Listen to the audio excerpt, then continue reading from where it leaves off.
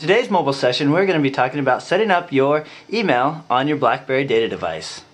What's great about the BlackBerry is that it does give you access to all your personal internet needs including checking stocks, sports, weather, latest news, and of course setting up your email.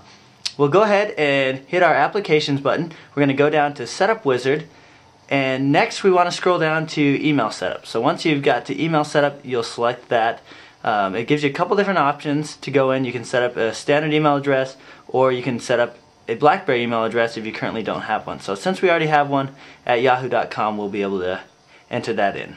So you'll want to select next again and now what it's going to do is access the web and allow us to enter in our email address.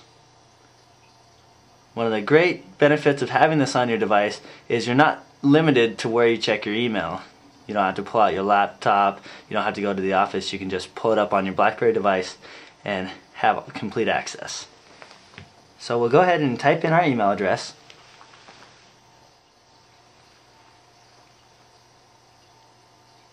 Alright, now that we've entered in our email address, we want to scroll down and this is going to give us access to the next box which of course it wants your current password. So we've already gone ahead and entered in our password and now we can scroll down to the bottom and, and select next. This is going to go out onto the internet it's going to request the information that we're asking for and then it's going to confirm. So as it shows there you have successfully configured access to our mobile life. We can select OK.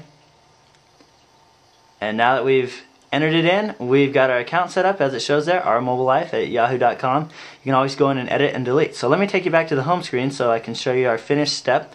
If we want to hit our applications button, we can click on our email setup. Once we go into there, we've got our first email. Congratulations from AT&T.com. Congratulations, you have set up successfully our mobile life at yahoo.com.